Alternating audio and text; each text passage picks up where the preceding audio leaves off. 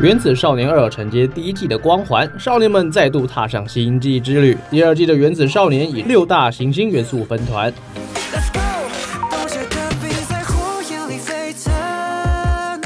陈志新 Alex 高中接连被韩国两大经纪公司挖掘担任练习生，最后成为防弹少年团师弟，前往韩国受训，却遇上疫情，不得不回台，错失出道机会。他选择投入服饰网拍，月收达六位数以上，但这次为把握新梦，选择暂停事业，投身选秀。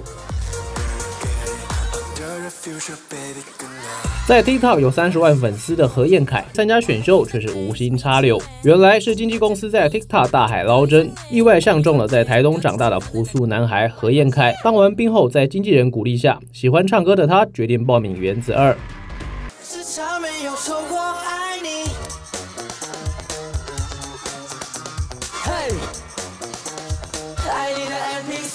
隶属小星星的陈彦旭从小受化妆师妈妈的影响，对演艺圈充满憧憬。为更精进表演，离开家乡北上就读装进表演艺术科。原子第一季的时候，我最喜欢吕之玉，能够独当一面创作、演唱和跳舞，很希望自己可以出道。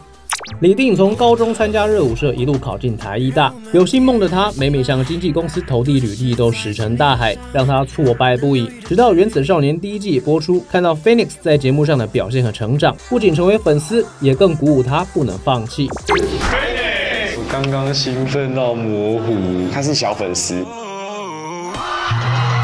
让我蛮惊艳的是李定，原来你可以这样啊！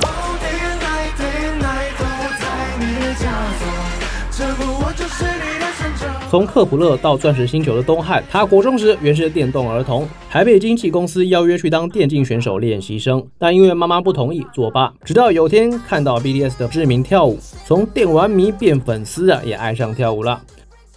原子少年二接下来要在 YD 频道播出少年们的团综节目，除了十一月的北流演唱会，十二月也会再办一场，但时间地点未定。